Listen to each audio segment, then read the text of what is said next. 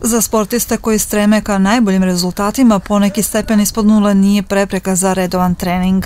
Istrajne bicikliste MTB kluba jednota danas smo zatekli na pripremi za predstojeće ciklokros takmičenje za kup Srbije.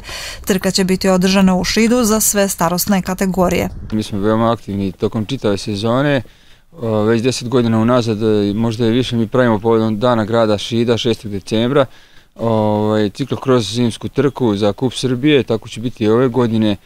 Po prvi put organizujemo i trku za decu koji ne moraju raditi da imaju licencu, znači svako ko želi do 11 godina ovaj, da prođe dva kruga na našem bike parku jednota, mogu da dođu se prijave sudeći im dati broj i da se malo zabave vide kako izgleda taj naš sport. Već godinama unazad mi imamo goste iz Bosne i Hercegovine, iz Hrvatske su se najavili baš nekoliko klubova iz Slavskog broda, Vinkovaca iz Osijeka, koji su redovi redovni naši gosti, tu je Tuzla, Bijeljina, isto tako, e, svi, gotovo svi klubovi iz Srbije, tako da očekujemo dosta takmičara, evo koliko vidim po najavama, bit će suvo vreme do 10 stepeni, tako da, eto, u odnosu na prošlu godinu kad je padao sneg, sad će biti mnogo bolje, tako da vidjet ćemo, nadamo se da ćemo to lepo organizovati, stazu pripremamo već dve nedelje, tako da će staza biti možda malo i teška za početak sezone, ali tu će se vidjeti ko je spreman i ko je tehnički najbolje potkovan, kao što znate naši takmičari su tu uvek dominirali, ja se nadam da će tako biti i ovog puta.